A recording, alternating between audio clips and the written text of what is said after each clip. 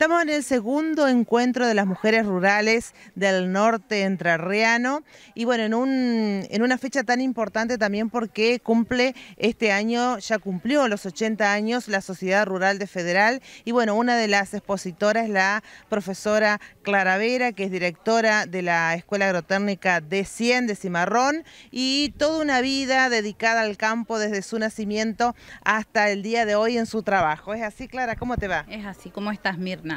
Bien, nosotros como hemos compartido contigo desde que inicié más o menos la docencia, trabajé en, la, en el ámbito rural hasta que después, bueno, me cambié a la Escuela Agrotécnica de Cimarrón, en donde trabajamos por y para la comunidad rural. Siempre con objetivo de que la gente se forme y regrese a la parte productiva rural, que son las bases de nuestro país. En cuanto a la exposición que vas a hacer hoy lo que te han pedido, eh, ¿en qué se basa?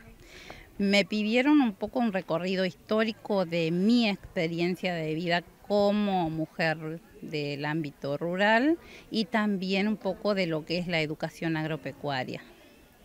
Teniendo en cuenta de que, bueno, además de estar como directora de la Escuela Agrotécnica Divina Providencia, también he estado como miembro activo del Comité Ejecutivo de FEDIAP, que es la Federación de Institutos Agrotécnicos Privados del país.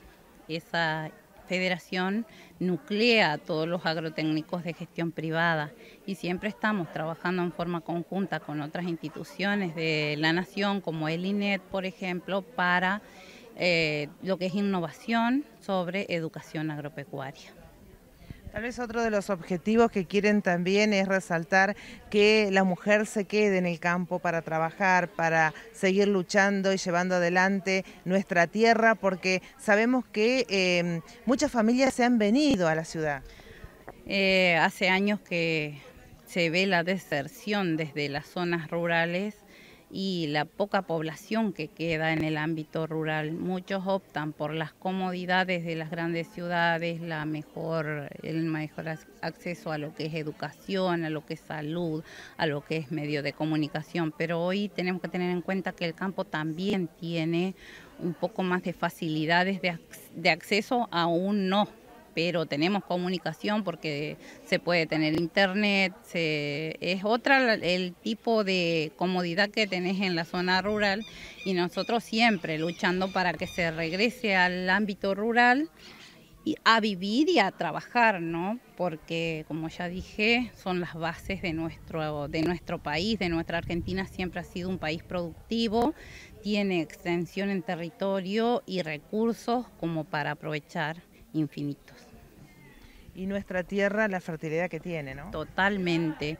La productividad de la tierra de Entre Ríos es casi incomparable. Así que bueno, todo esto lo que vos vas a, exponer. Y, bueno, vos, Clara, ¿dónde naciste aquí en Federal? Sabemos que siempre estuviste en el campo, pero ¿en qué colonia? Nací en Federal Ciudad, pero viví siempre en Colonia La Marta, desde chiquita, desde, desde bueno, desde mi nacimiento. Después ahora estoy viviendo en Colonia San Lorenzo. Siempre opté por vivir en la zona rural porque me gusta, me encanta a mí lo que es la parte del campo, del trabajo de campo, la tranquilidad de vida que uno tiene en el campo y lo sigo eligiendo.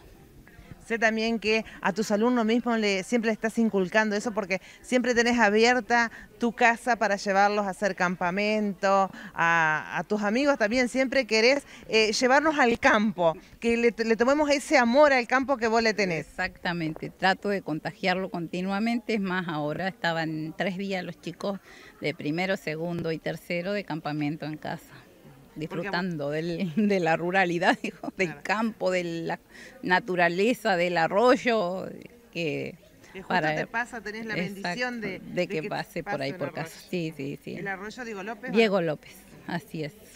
Bueno, si tendrías que mm, eh, decirle algunas palabras a la mujer, aquella que, que todo, mm, que se levanta temprano, que trabaja todo el día, que llega a la noche y sigue trabajando, que deja su... Em, ¿Qué palabra de aliento le, les daría en este momento tan difícil que vive nuestro país? Sí, sobre todo que uno siente de manera continua ¿no? la persecución a la parte productiva desde los gobiernos hasta el momento uno siente eso. Yo le digo que si tenemos los objetivos claros y constancia y fe para lograr lo que pretendemos, lo vamos a lograr y seguir trabajando por lo que queremos y por nuestro país es lo, lo mejor que podemos hacer y enseñarle a nuestros hijos y a nuestros descendientes todos qué importante que es trabajar y lograr lo que queremos con el sacrificio. Bueno, muchas gracias, Clara. Gracias a, vos. aquí con más expositores que vamos a seguir recorriendo.